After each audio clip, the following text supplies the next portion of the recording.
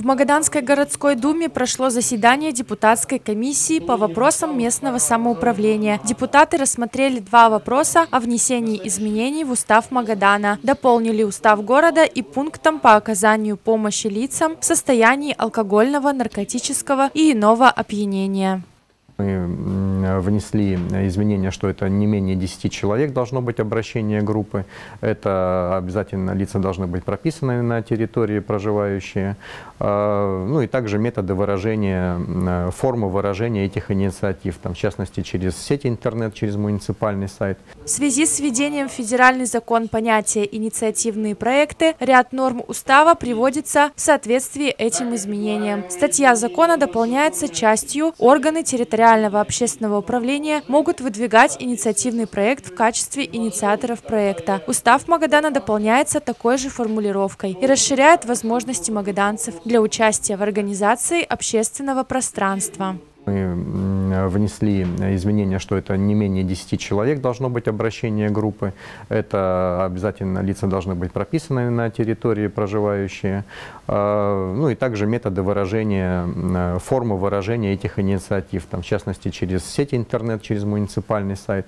Теперь возможность участия граждан в решении вопросов для благоустройства их микрорайона расширяется. Для участия в инициативном проекте достаточно, чтобы гражданин достиг 16-летия. Участвовать в нем можно группой не менее 10 человек. Эти инициативные проекты будут рассмотрены через органы местного самоуправления.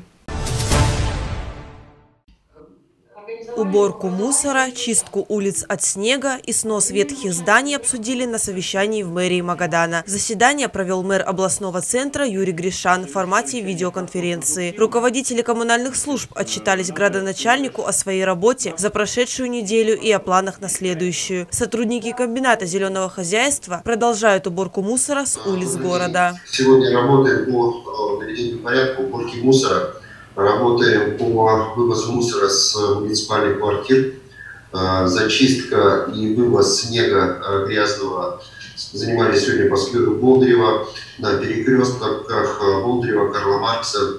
По тротуарам вывозим, снимаем накат, черный снег.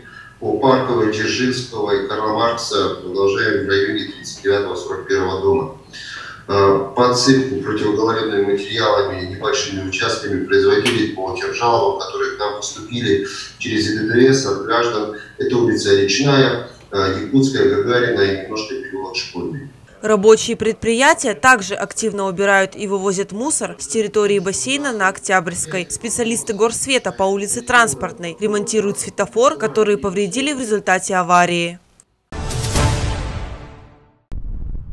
В 2021 году сумма материнского капитала увеличилась. Гражданам, которые получили его ранее, обменивать документ не нужно. В электронной базе данных у всех владельцев сертификатов увеличение суммы с 1 января 2021 года произошло автоматически. Посмотреть актуальный размер материнского капитала можно в личном кабинете на сайте ПФР www.pfr.gov.ru или на портале госуслуг госуслуги.ру. Напомним, в 2021 году размер материнского материнского капитала составляет 483 881 рубль 83 копейки. Эта сумма актуальна для семей, у которых в 2020 году родился или был усыновлен первый ребенок. Для граждан, у которых родился второй ребенок и последующие дети в 2020 году, сумма материнского капитала составляет 639 431 рубль 83 копейки. За 2020 год судебные приставы Колымы взыскали с должников более 2 миллиардов рублей, что больше на 404 миллиона по сравнению с 2019. Об этом на пресс-конференции для магаданских средств массовой информации рассказали специалисты. Более 75 миллионов рублей приставы взыскали в пользу детей. В рамках исполнительных производств 329 должников объявили в розыск, из них нашли 211. 165 неплательщиков алиментов привлечены к административной ответственности по статье 5.35 прим. 1 Кодекса административных правонарушений Российской Федерации. Это уклонение от уплаты алиментов. По 79 исполнительным производствам в отношении должников проводятся мероприятия, направленные на привлечение должников к уголовной ответственности по статье 157 Уголовного кодекса. В отношении 36 должников возбуждены уголовные дела, возбуждены расследования, направлены на суд уголовные дела по 157. То есть за уклонение от уплаты алиментов. И как вы помните, мы ранее уже доводили, что привлечение к уголовной ответственности наступает только после привлечения должника к административной ответственности. То есть, следовательно, уже злостность уже сама по себе повторяется.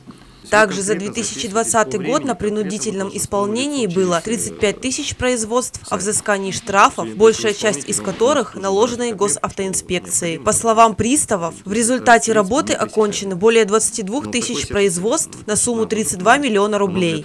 Сотрудники ведомства отметили, что в зданиях суда действует пропускной режим. Благодаря этому приставы выявили 233 запрещенных к провозу предмета. Поэтому чрезвычайных ситуаций в судах Магаданской области области не было. Кроме того, в настоящее время колымчане могут легко контролировать свои долги.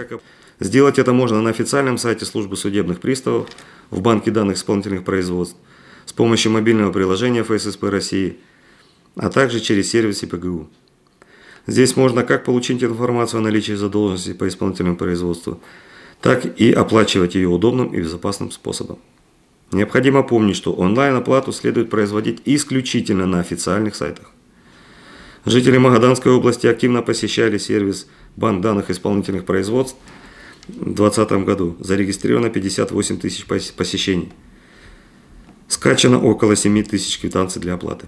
По словам приставов, сервис ход исполнительного производства самый скоростной на портале госуслуг. Также обратиться к сотруднику ведомства можно дистанционно, благодаря сервису ходатайства приставу. Кроме того, специалисты создают новые способы общения с гражданами. Например, группа телефонного обслуживания. Магаданцы могут позвонить по номеру и узнать, есть ли на них исполнительные производства. В Магадане в ледовом комплексе «Колымский» стартовал 10-й сезон всероссийских соревнований по хоккею «Ночная лига». В борьбе примут участие шесть команд, представляющих область. Команда-победитель не только получит кубок за первое место, но и пройдет в финал, где будет соперничать с победителями из других городов России. Ночная хоккейная лига создана в 2011 году по инициативе президента Российской Федерации Владимира Путина и прославленных хоккеистов с целью развития и популяризации массового любительского хоккея, пропаганды здорового образа жизни и создания условий для организации спортивного досуга населения.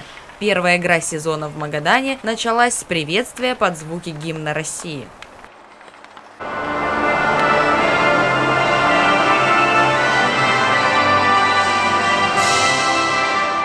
Этим матчем мы открываем отборочный этап, э, десятый отборочный этап ночной хоккейной лиги. Игры будут проходить э, вторник, среда, пятница, суббота, воскресенье. В субботу будет две игры. По регламенту соревнований не более 30% зрителей может появляться на трибунах.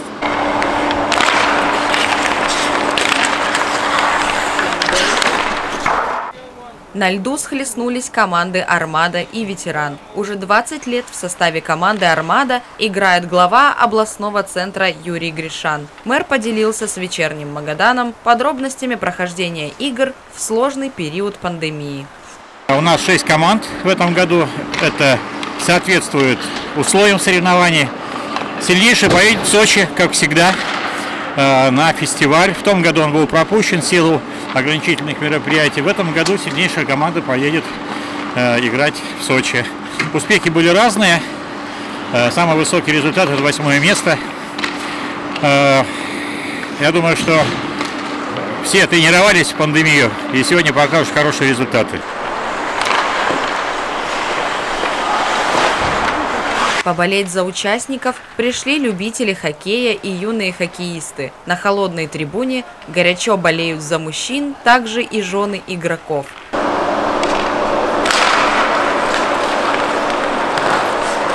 Шла напряженная игра. Армада до последнего тайма вела счет с существенным преимуществом. Ближе к концу третьего тайма соперники практически сравняли счет. По итогу с отрывом в одно очко победила команда «Армада» со счетом 4-3.